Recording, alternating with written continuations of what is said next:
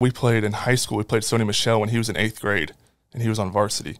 He You- ran. you all- yes. Really? He was in eighth grade on varsity. Because he was Plant, Florida, or he, he was down in South Florida. He went to American Heritage. yep. So you you were in down a, a Jacksonville area. Jacksonville, yes, Yep. sir. So we were at Bolles. We played them twice. So once down there, once at our home field. We beat them, not by a lot, but Sony still ran all over us as an eighth grader. And I was As an eighth grader? As an eighth grader.